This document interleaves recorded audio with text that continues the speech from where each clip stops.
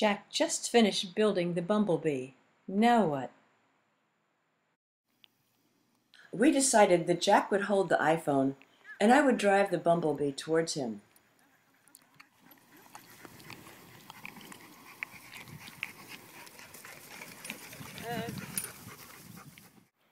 Next, we decided that Jack would ride and we would hitch Rosie up to help Roscoe pull. On by. Go on by. Pull, you guys. Go. Pull, Rose. It is so hot. The dog's tongues are hanging out.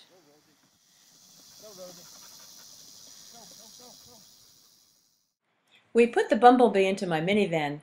I decided to go see my friend Joe Kelly. He suggested that the bumblebee is ideal for children to drive. At Canine Clubhouse, the dog center in Perry, Georgia, I found the ideal girl driver.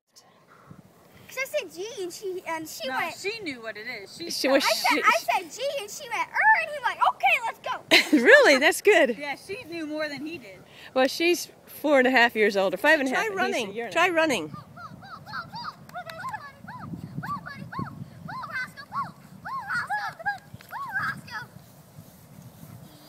That is so I keep trying to pull back like a mini. No, don't pull back. We want him to run. Car, Roscoe, car. Go! Pull! Pull! Pull, Roscoe, pull! Pull, Roscoe, You guys ready? Pull, Roscoe. Pull. Pull.